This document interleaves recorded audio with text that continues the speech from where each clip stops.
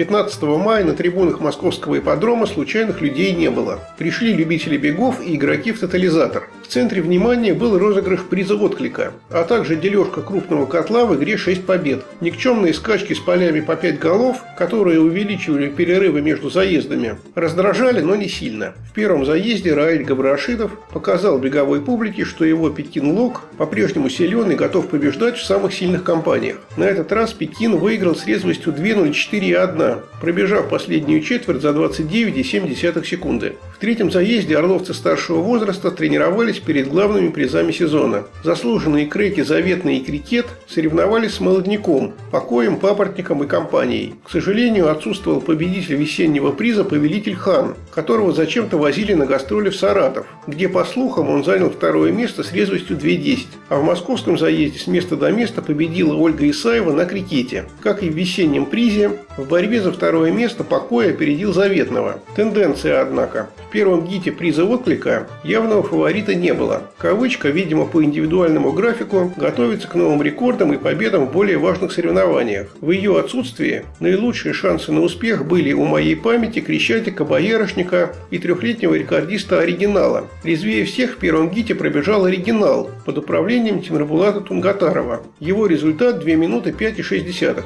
В борьбе за второе место Крещатик опередил мою память. Четвертым финишировал Кок. Александр Гаврилович Несяев на Боярышнике в первом гите проехал неудачно. Он остался далеким пятым. Ровный и сильный состав собрали в седьмом заезде для трехлеток. Первые два места заняли кобылы, рожденные в конном заводе имени Чапаева. К сожалению, в этом хозяйстве в последнее время стало традицией давать своим лошадям труднопроизносимые клички на иностранном языке, что, на мой взгляд, является неуважением к беговой публике. Итак, победил Валерий Петров на Грегори Дрим. На втором месте Юрий Чефранов на Нордерн Холл. В девятом заезде на старт вышел Фауст Ганновер. Соперники у него были достойные. Данвар Лок, Фарпост Лок и From the Wild. Но все же Фауст Ганновер сильнее. Он победил без видимых усилий с резвостью 1 минута 59,4 секунды. Как обычно управлял Фауст Ганновером Андрей Вилкин. Отказались от борьбы и сняли своих лошадей со второго гита приза отклика наездники, выступавшие на оригинале моей памяти и коке. В их отсутствии на победу в гите и призе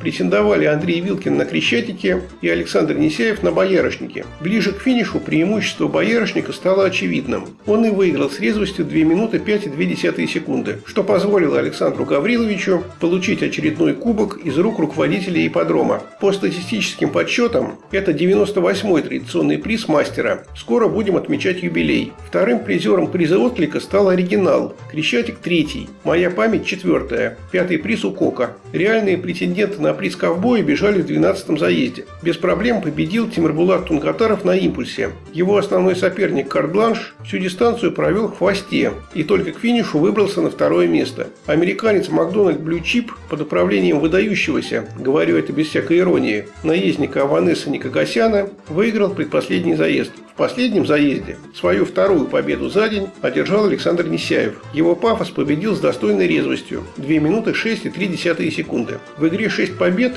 было 23 выигрышных билета. Коэффициент выплаты 2638.